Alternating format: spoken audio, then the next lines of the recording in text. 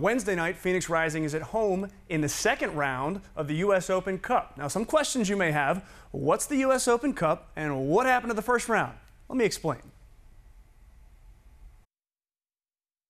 The U.S. Open Cup is a season long tournament in which 84 teams from the amateur level all the way up to the MLS compete to be crowned America's soccer national champion.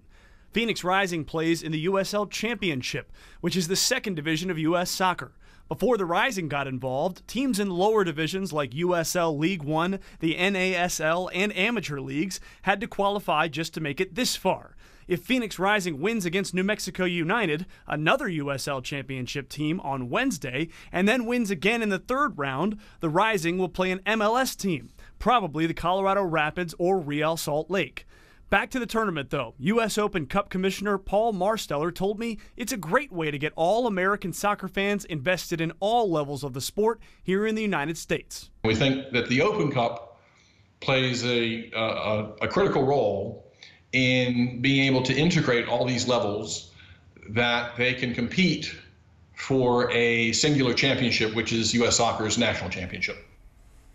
And Phoenix Rising will host New Mexico United on Wednesday night. If the Rising win that match, there will be a third round draw to find out who their next opponent will be, and that match would take place later in the season.